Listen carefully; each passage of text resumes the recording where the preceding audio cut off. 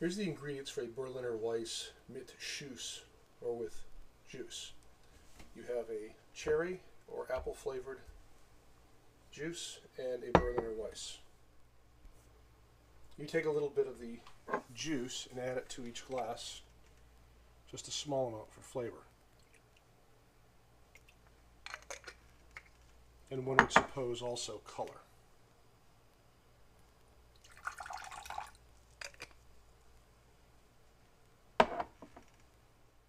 You then open the Berliner Weiss and pour in a circular flourish to mix the sauce.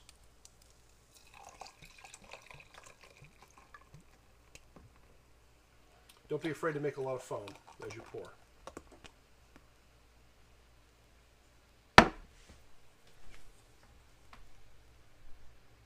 You then drink them, enjoying the apple flavor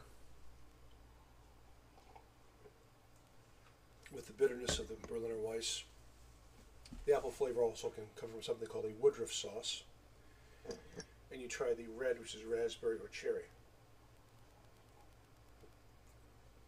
Oh, absolutely perfect. I mean, I don't really care how you drink your Berliner Weiss. It can be green, pink, or out of the bottle. It's all delicious.